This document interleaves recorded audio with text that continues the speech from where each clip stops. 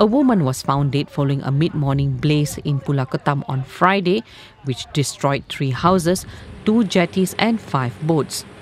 Selangor Fire and Rescue Department Assistant Director Ahmad Mukhlis Mukhtar confirmed the death of the 49-year-old victim whose body was found at 10.05 p.m.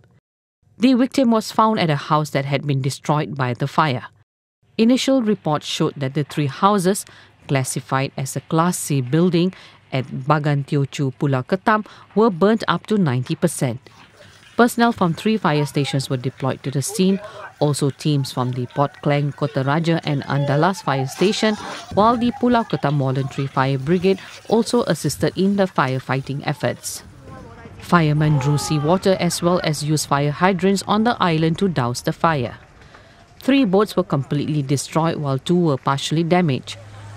Pulau Ketam houses and bridges are built on stilts over and around mangrove swamps, and the place is one of Selangor's top tourism spots, with residents mostly made up of members of the Hokkien and Teochew clans who are either fishermen or eatery operators.